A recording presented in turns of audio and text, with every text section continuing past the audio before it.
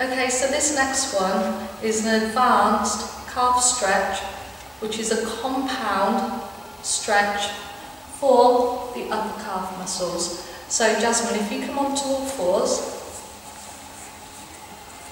okay, just bring your hands slightly forward. From here, take your hips up towards the ceiling. Okay, you're going to take one leg behind the other leg, but keep that standing leg straight, you don't want it to bend. Breathe in, and then as you breathe out, just relax the heel down towards the floor until you can feel the stretch in your calf muscle. Does that feel okay? Yeah. Okay, so come out the stretch when you're ready. So you will hold this for 30 seconds, repeating two to three sets for best results. Just remember, always stretch when your muscles are warm, after cardio or weights, and never stretch when your muscles are cold.